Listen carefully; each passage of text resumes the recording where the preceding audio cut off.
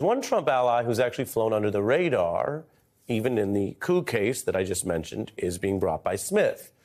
And yet he's a very famous figure, Roger Stone. You may recall he was flanked by Oath Keepers on January 6th. He's seen right there outside a D.C. hotel. Now, we reported on Stone discussing and coordinating a plot to try to get states and electors to overthrow the results that had Trump losing. This was on the beat this summer. The final decision as to who the state legislatures authorize be sent to the Electoral College is a decision made solely by the legislature. We must be prepared to lobby our Republican legislatures and Stone discussed this idea about Trump trying to just push forward alternate electors, like a type of government fraud that then could sow chaos that could somehow help them steal the race on the 6th. You may remember some of this has now been further documented, some of it happened. Here's what we have on tape. Any legislative body may decide on the basis of overwhelming evidence of fraud to send electors to the Electoral College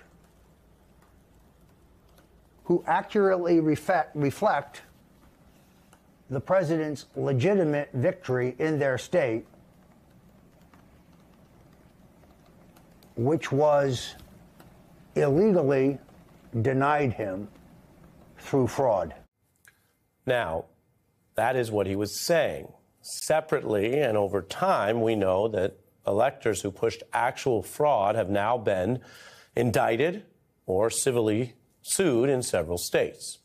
Stone denies wrongdoing. He says that states could legally exercise the kind of authority he discussed there. And amidst these reports, we want to make sure you know that he previously posted online that he never plotted the seating of fake electors. I've interviewed him before, and we've welcomed to come back on the beat if he wants to discuss the story, but that is his public response to some of this. Now, tonight, I'm going to show you here only on the beat even more exclusive video. This is from the same documentary, but it's new. So that's the context. But this part has not aired on MSNBC yet. This is something that occurred mid January 2021, so a week after the insurrection. Stone's fraudulent elector scheme, at least the one he voiced support for getting states involved in, did not, of course, ultimately stop the certification. And you kind of have the therapy part of this journalists know and documentarians know sometimes if you get people talking, you seem to get their emotions out too, even people who have less than 100% solid relationship with the truth. So here is Roger Stone venting to the documentarian about Trump.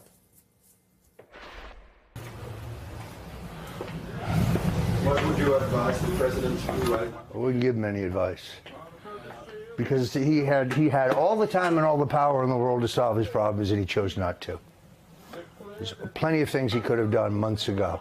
He should have started by uh, enacting the Insurrection Act when Portland and Kenosha were burning last summer. That was the test. Will Trump let us burn down America and do nothing? And that's exactly what he did. So it emboldened them. He should have invoked the Insurrection Act. Listen very closely. I mentioned this earlier in the show in a different context. Learning from the past and the facts is important right now. Roger Stone, whatever one thinks of him, is one of Donald Trump's oldest advisors. They worked together for decades. He was involved in the 2016 campaign. He was involved, as you see, under his own words, not an accusation, just a fact, in the efforts to overthrow the certification of then President elect Biden on January 6th. Roger Stone denies wrongdoing. That is to say, he says that what he was doing was not illegal. Okay. But what he was doing was trying to overthrow the results. And there you see what he says in that moment in his own words invoke the Insurrection Act, abuse power of force and violence before handing off to the president elect. These are the people around Donald Trump as he runs for what everyone has promised would be a much different, much more extreme second term. Yeah, here's the biggest question that's loomed over all of this. The January 6th committee uh, didn't resolve it. Uh, we don't know if Jack Smith will bring it in if that goes to trial. Do you think Roger Stone was in a position to convey back to the Trump team that the militias had a plan to go in to breach the Capitol? There's no question that he had the capacity and the access to communicate it back. Do you But think he did, is what I'm asking? that would be speculation? You didn't hear part. it? I didn't hear it. Well, you know, investigators, we look at these things, you say, well, there's, there's two possibilities. It was a plan so secret that they didn't know about it and they benefited from it, and that can happen. Or the more kind of obvious or more seemingly direct thing would be all of this effort went in, these militias took tremendous risks, and they didn't do it at arm's length. They kept people like Stone around who they thought were one degree from Team Trump, and that was so that they could coordinate. Uh, the committee never resolved that. Based on all the evidence you have, do you think that is a possible or likely scenario that the militias did tell the Trump folks, we're going in?